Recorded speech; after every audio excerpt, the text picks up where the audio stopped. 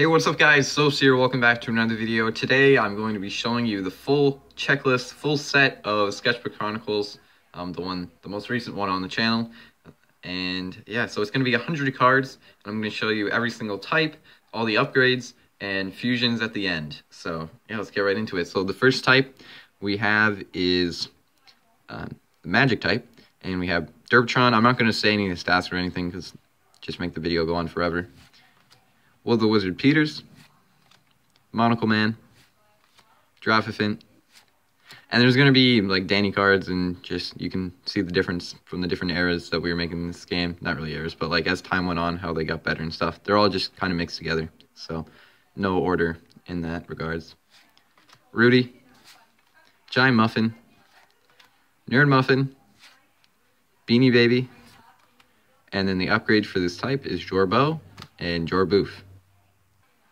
Okay, for the flying type, we have Charles, Bone Dragon, Flying Derpatron, Gerp, Birdo, Flying Guy, Bad Dragon, Bad Dragon, Gogol, Dragoslev, Nightmare Bat, which upgrades into Nerd Bat.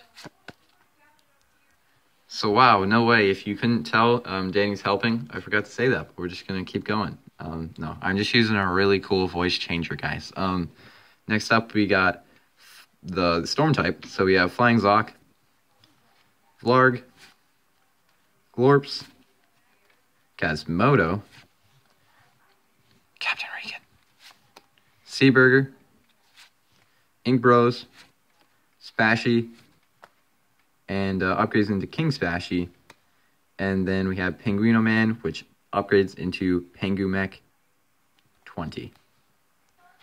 So for the ground type, we have Cameruptor, Eager Beaver, Uniboy, Rocket Rock, Firestarter, Sensei Cactus, Snail Army, Cow, which upgrades into Armored Cow, and Double Jaw, which upgrades into Double Source Rex.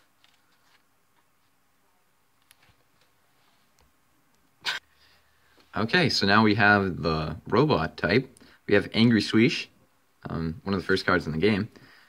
Slinky Clyde, Crab, Battery Guy, Cuban Sin, the best card in the game, along with its his bro Trigger, just so overpowered, man.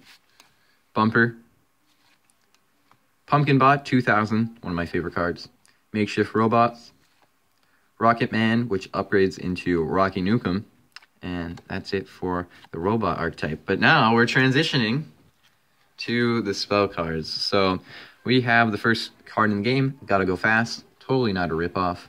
Um, Zombie Toaster, Bottle of Ghoul, Cloud Castle, Techno Repeater, Heavy Mask, Tornado Transformation, Sky and Sea, Disguise, Bone Helmet, Magical Wand, Bad Dragon, um, Combine, Fly Away, Light Mask, The Trees Have Eyes, Mansplosion, the best art in the game, Cute Juice, Supercharge, Beefy Juice, Dentures, and uh, Daniel laughing in the background.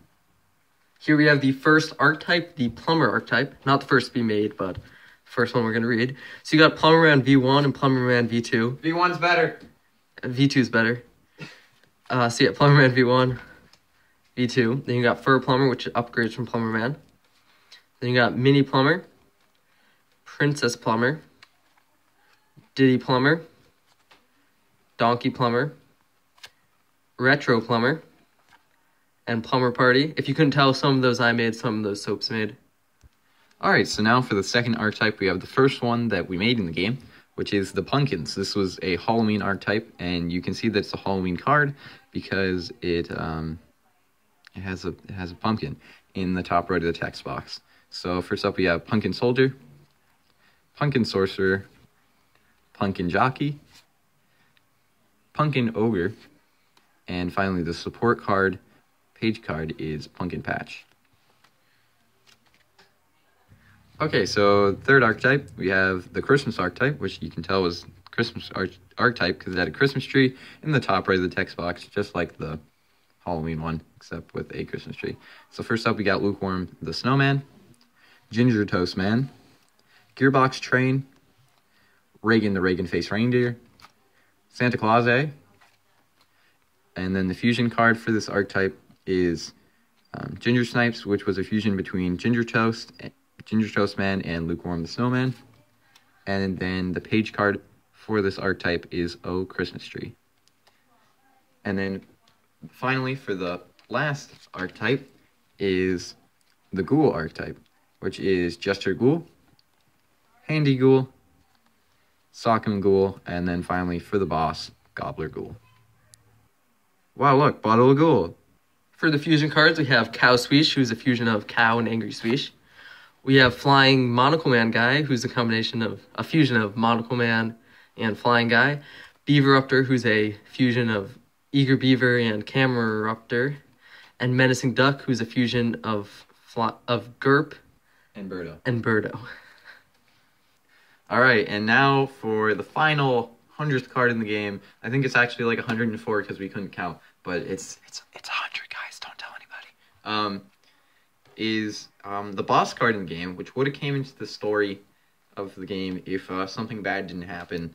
But sadly, uh, we're not going to get into that. But for now, um, we have the boss of the game. Drum roll, please. Ink Overlord. So this is a never before seen card. Doesn't even have a type because he's too cool, and he is he has ink manipulation, which pay three ink and take control of one of your opponent's monsters on the field. When this card dies, send the surviving controlled cards back to their owner. So it can take your opponent's cards and um, you can take control of them and use them as your own. So that has been the checklist. Uh, say say thanks for Danny for bringing them over, Thank you. and uh, thank you guys for watching. So that's gonna probably call um, bring Sketchbook Chronicles to an end for now. And yeah, see you guys later.